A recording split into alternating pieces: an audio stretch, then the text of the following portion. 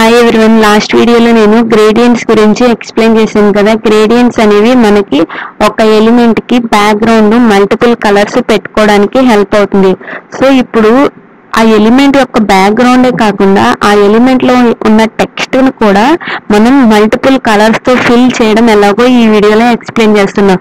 So మనం gradients apply చేయాలంటే మనం ఏం చేస్తాం? బ్యాక్గ్రౌండ్ అనే సిఎస్ఎస్ ప్రాపర్టీ యూస్ చేసి అప్లై చేస్తాం.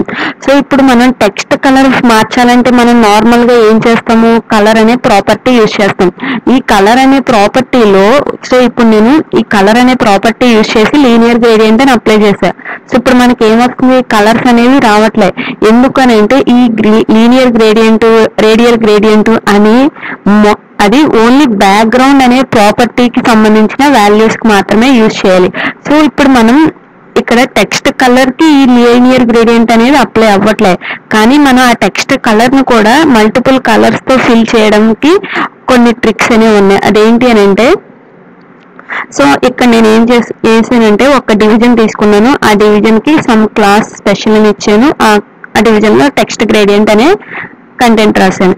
సో ఇప్పుడు ఆ డివిజన్కి సమ్ స్టైల్ అప్లై చేశాను just position absolute top left transform translate fifty percent ఈ ఫోర్ ఎందుకు అని అంటే మనం టోటల్ వెబ్ పేజ్లో టెక్స్ట్ అనేది సెంటర్లోకి రావడం కోసం అప్లై చేశాను.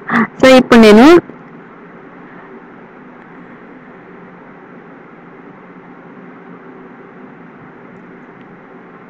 ఇక్కడ ఈ త్రీ ప్రాపర్టీస్ ఏవైతే రాసానో అవి తీసేస్తున్నా. సో ఇప్పుడు మనకి ఏమైంది జస్ట్ టెక్స్ట్ సెంటర్లోకి వచ్చింది. ఈ ఫైవ్ ఈ ఫోర్ ప్రా ఇక్కడ రాసిన ఫైవ్ ప్రాపర్టీస్ జస్ట్ టెక్స్ట్ని సెంటర్లోకి తీసుకురావడం కోసం and font size font weight ఇచ్చాను. సో ఇప్పుడు నేను ఇక్కడ ఆ ఎలిమెంట్కి బ్యాక్గ్రౌండ్ ఇస్తున్నా. బ్యాక్గ్రౌండ్ ఇవ్వడంలో లీనియర్ గ్రేడియంట్ యూస్ చేశాను. సో ఇక్కడ త్రీ కలర్స్ తీసుకున్న డైరెక్షన్ ఏమో టూ రైట్ ఇచ్చాం మనకి ఎలా కావాలన్నా ఆ- ఆ డైరెక్షన్లో ఇవ్వచ్చు. టూ రైట్ టూ లెఫ్ట్ లేకపోతే యాంగిల్ అయినా ఇవ్వచ్చు. సో ఇప్పుడు ఇలా ఇవ్వడం ద్వారా మనకి ఏమొచ్చింది ఆ టెక్స్ట్కి బ్యాక్గ్రౌండ్ వచ్చింది. కానీ మనకి రిక్వైర్మెంట్ ఏంటి? టెక్స్ట్ కలర్ అలా రావాలి. ఆ బ్యాక్గ్రౌండ్ కాకుండా టెక్స్ట్ కలర్ అలా రావాలి.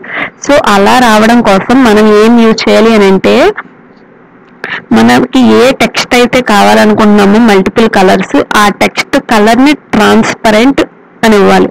So text colour property transparent చేయాలి. సో అంటే నార్మల్గా టెక్స్ట్ కలర్ని ట్రాన్స్పరెంట్ చేస్తే ఆ టెక్స్ట్ యాక్చువల్ కలర్ అనేది డిసప్పేర్ అయిపోతుంది. సో ఇప్పుడు మనకి ఏమైంది టెక్స్ట్ కలర్ అనేది డిసప్పేర్ అయిపోయింది.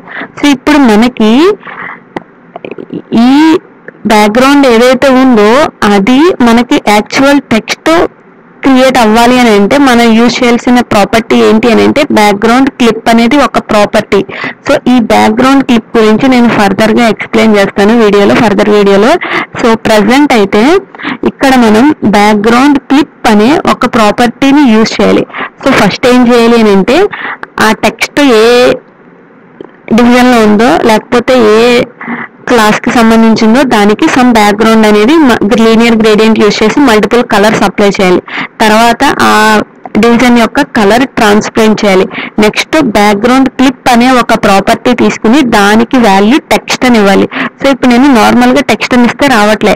ఎందుకు అని అంటే ఈ బ్యాక్గ్రౌండ్ క్లిప్ అనే ప్రాపర్టీ అన్ని బ్రౌజర్స్ లోనూ సపోర్ట్ చేయదు. సో ఒకవేళ మనకి సపోర్ట్ చేయాలి అని అంటే ఇక్కడ మనం ఒక ట్యాగ్ అనేది యూజ్ చేయాలి. స్టార్టింగ్లో వెబ్ కిట్ అనే ఒకటి ఈ సిఎస్ఎస్ ప్రాపర్టీస్కి ముందు యూజ్ చేస్తే ఈ ప్రాపర్టీస్ ఏ బ్రౌజర్లో అయితే సపోర్ట్ చేయవో దాన్ని సపోర్ట్ చేయడానికి ఈ వెబ్ కిట్ అనే వెండర్ని మనం ముందు యాడ్ చేయాలి. సో ఇప్పుడు మనకి ఏమైంది? బ్యాక్గ్రౌండ్ క్లిప్ టెక్స్ట్ అని ఇవ్వడం ద్వారా మనకి ఆ టెక్స్టే ఈ లీనియర్ గ్రేడియంట్ కలర్స్లో మనకి ఎపీర్ అయింది. సో మనం చేయాల్సింది ఏంటి అని అంటే ఫస్ట్ ఆ టెక్స్ట్ ఏ డివిజన్లో ఉందో దానికి సమ్ బ్యాక్గ్రౌండ్ ఇవ్వాలి. ఆ బ్యాక్గ్రౌండ్లో లీనియర్ గ్రేడియంట్ అని చెప్పి మనకి ఎన్ని కలర్స్ కావాలంటే అన్ని కలర్స్ ఇవ్వాలి. సో నేను ఇంకొక కలర్ ఇస్తున్నాను.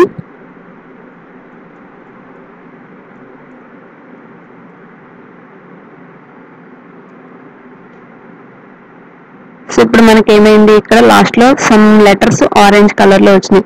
సో ఇక్కడ మనకి ఈ త్రీ ప్రాపర్టీస్లో ఏ ప్రాపర్టీ మిస్ అయినా మనకి అక్కడ ఆ టెక్స్ట్ కలర్ అనేది మల్టిపుల్ కలర్స్లో ఉండదు గ్రేడియంట్స్లో ఉండదు. సో ఇప్పుడు నేను ఈ కలర్ ట్రాన్స్పరెంట్ అనే ప్రాపర్టీని తీసేస్తున్నా ఇప్పుడు కూడా మనకి నార్మల్ గానే ఉంటుంది.